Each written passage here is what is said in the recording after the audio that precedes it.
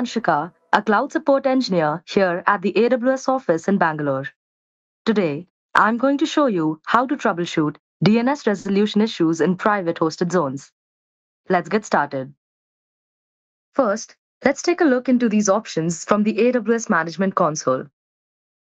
In the AWS Management Console, navigate to the Amazon Virtual Private Cloud Console. As a prerequisite to make private DNS resolution work, we must be sure of some basic checks that the VPC should fulfill. To verify these, we can navigate to the VPC that you associated to the private hosted zone. Under the Description tab, confirm that the DNS resolution and DNS hostnames options are set to enabled. Next, check the DHCP options set of that VPC, which opens the DHCP options associated to that VPC. Here, be sure that the domain name server is Amazon provided DNS.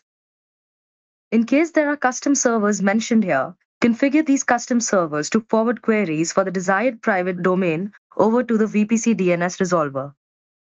For the remainder of the checks, let's move over to the Amazon Route 53 console and check the hosted zone configuration. In the Route 53 console, choose the hosted zone radio button for that domain to confirm that the private zone is attached to the VPC where you're trying to query the private hosted zone from. You can see this in the associated VPCs list on the right panel. If the private hosted zone is attached to several VPCs, you might find it cumbersome to verify the association of a particular VPC to that hosted zone. To make it easier to pass through the list, use the AWS command line interface command, get hosted zone, as shown on the screen. Navigate to the terminal where the AWS CLI is set up, and then run the get hosted zone command. This command returns a list of all VPCs that are associated with the private hosted zone.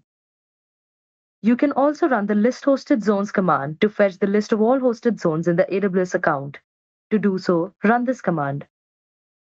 Check the hosted zones list for any hosted zones with overlapping namespaces attached to the VPC you're looking at to rule out the possibility of a more specific domain routing.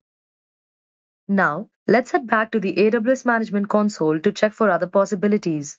For example, if you're setting up a subdomain for a privately hosted domain, you must set up a brand new private hosted zone for that subdomain because subdomain delegation isn't applicable for private hosted zones.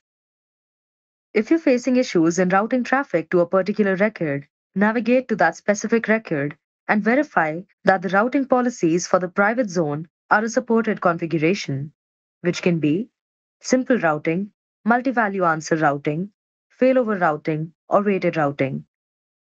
As the final check on the Route 53 console, navigate to the Resolvers tab. Then, in the Rules section, check if there are any forwarding rules set up for your domain, because these custom rules take precedence over the private hosted zone. If you're using an outbound endpoint in your setup, then traffic is diverted away from the VPC DNS resolver. Having completed the checks on the VPC and Route 53 side, Let's head over to an EC2 instance within the VPC associated to the private hosted zone. Here, we need to ensure that the Amazon provided VPC DNS resolver is being used for DNS resolution. As an example, here we have a Linux-based EC2 instance.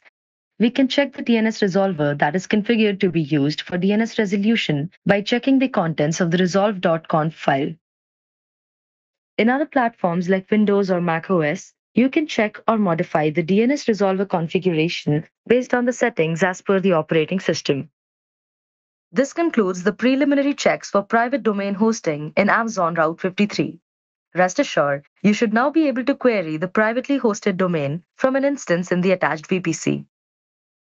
Thanks for watching and happy cloud computing from all of us here at AWS.